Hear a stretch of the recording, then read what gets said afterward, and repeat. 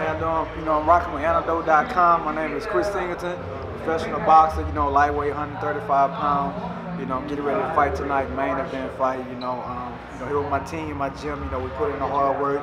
You know, beat the Sleep Boxing Club, D Major Boxing. You know, we put in. We got a lot of great fighters in our gym.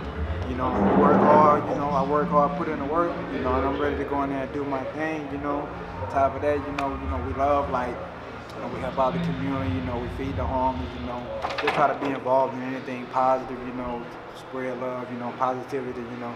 Uh, like I say, you know, we just work hard, you know, like one big dysfunctional family in our gym, you know, first we fight it, we argue, you know, but at the end of the day, we take care of business, you know, we put our work in, and we go in there and do our thing, and tonight, you know, rockwithantidote.com, it's going to be a lot of knockouts, you know, so don't miss it. So you estimate the knockout, man? Oh yeah, you know, you know, you always want, you always, you don't, you don't go in there looking for, it, you know, you're taught not to look for it, but it, you know, every fighter wants to get a KO. You know, like I'm not gonna go in there gunning for it, you know, but if, if I see the opportunity, you know, I'm gonna take it, you know. So. What round you think you're gonna put him away in, man? I'm gonna say four. Four. I, I'm gonna say four. There we go. I, I actually fought this guy before, you know, I knocked him out in a second.